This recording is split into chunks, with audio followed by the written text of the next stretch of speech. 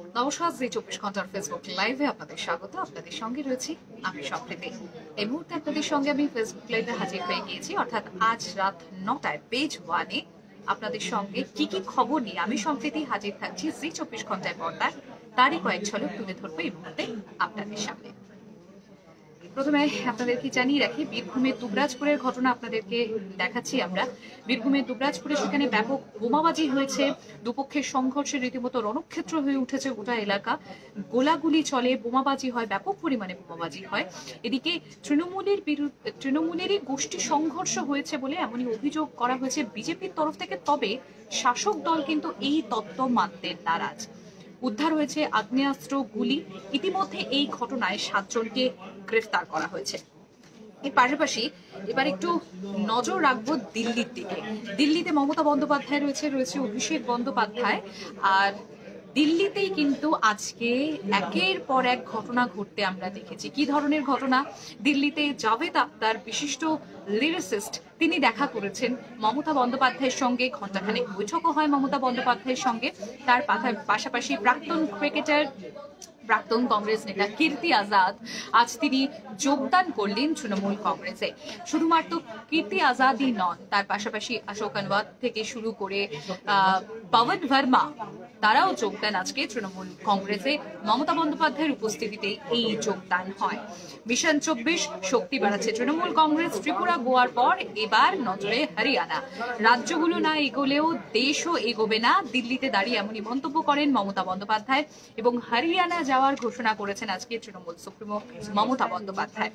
এদিকে যেরকম আপনাদেরকে জানাচ্ছিলাম যে দিল্লিতেই জোড়া ফুল শিবিরে যোগদান করেন কীর্তি আজাদ তার তৃণমূল কংগ্রেসে যোগদানের পর তার বক্তব্য, দিদির দেখানো পথেই চলবো। কংগ্রেসের এই প্রাক্তন নেতা এবং ক্রিকেটার তিনি এমনই বলেছেন যে তাকে যে দায়িত্ব দেওয়া হবে সেই দায়িত্বই তিনি পালন করবেন। এদিকে আপনাদেরকে যেরকম জানাচ্ছিলাম যে হরিয়ানার প্রাক্তন কংগ্রেস নেতা অশোক তানওয়ার, তিনি তৃণমূল কংগ্রেসে যোগ দিয়েছেন। তার পাশাপাশি জেডিউ এর প্রাক্তন জেডিইউ সাংসদ পবন বর্মা, তিনিও আজকে তৃণমূল কংগ্রেসে যোগ দিয়েছেন। এবং ঠিক একটু আগে যেরকম বলছিলাম যে ত্রিপুরা গোয়ার পর এবার তৃণমূল কংগ্রেসের নজরে হরিয়ানা হরিয়ানা যাওয়ার কথা ঘোষণা করেছে মুখ্যমন্ত্রী মমতা বন্দ্যোপাধ্যায়। তার পাশাপাশি যেরকম বললাম, বিশিষ্ট লিরিসিস্ট জাভেদ আক্তার, তিনি আজকে মমতা বন্দ্যোপাধ্যায়ের সঙ্গে দেখা করেন। ঘণ্টাখানেক তিনি বৈঠকও করেন। এর পাশাপাশি তৃণমূল নেত্রীর সঙ্গে আজকে সাক্ষাৎ করেন প্রাক্তন বিজেপি নেতা সুধীন্দ্র কুলকার্নি। স্বাভাবিকভাবে জল্পনা তো এখানেও রয়েছে। এবার আমরা একটু নজর রাখি ত্রিপুরার পুরো ভোটের দিকে।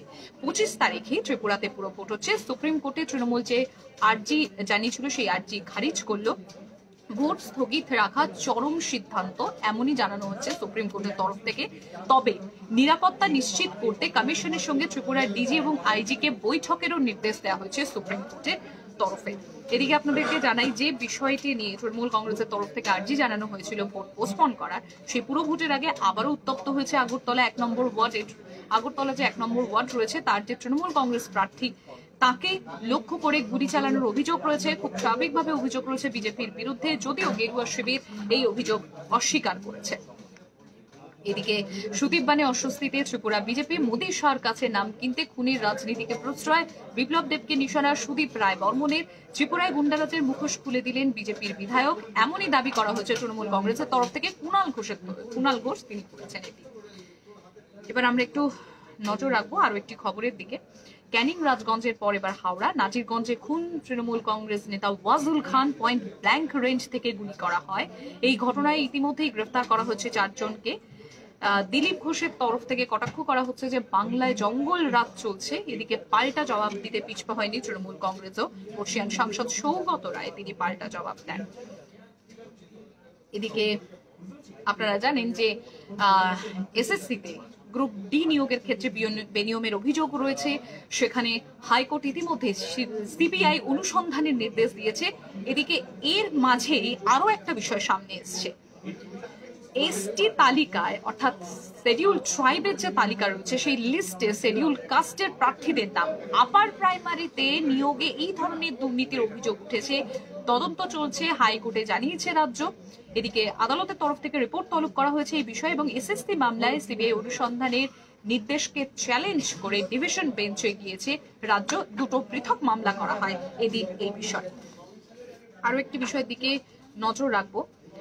টিকাকরণ ভ্যাকসিনেশন কোভিডের ভ্যাকসিনেশন নিয়ে যখন সেকেন্ড ডোজ নিতে মানুষকে বারবার বলা হচ্ছে, ঠিক সেই সময় তুঙ্গে তোড়জোড় রাজ্যে কি নিয়ে তোড়জোড়? নাকি ডিসেম্বরে অনূর্ধ্ব আঠেরোদেরকে কি টিকাকরণ হবে? সাইকোভডি টিকার জন্য রাজ্যে ইতিমধ্যেই ট্রেনিং শুরু হয়েছে আর কেন্দ্রের ছাড়পত্র পেরিয়ে সমস্ত কর্মীকে প্রশিক্ষণও দেওয়া হবে সাইকোভ ডি নিয়ে। দেড় বছর পরে দেশের সর্বনিম্ন দৈনিক সংক্রমণ আক্রান্তের সংখ্যা আট হাজারের নিচে, অর্থাৎ সব মিলিয়ে করোনা গ্রাফ কিন্তু রীতিমতো একটা খুশির খবর আশার আলো দেখাচ্ছে। আচ্ছা এর পাশাপাশি আরও দু একটি খবর রয়েছে।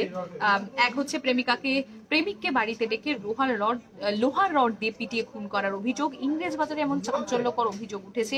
প্রেমিকার বাড়ির লোকের বিরুদ্ধে অভিযোগ মৃতের পরিবারের, যারা অভিযুক্ত, তারা পলাতক। এদিকে গড়ফার দিকে যদি নজর রাখি গড়ফায় মহিলা রহস্যবিত্র আবাসনের ছাদে উদ্ধার মহিলার ঝুলন্ত দেহ। খুনের অভিযোগ দায়ের করা হয়েছে পরিবারের তরফে। যেটা অভিযোগ করা হচ্ছে যে ঋণের টাকা মেটানোর জন্য ফ্ল্যাটে ডেকে খুন করা হয়। ইতিমধ্যেই তদন্ত শুরু করেছে পুলিশ গোটা ঘটনা নিয়ে।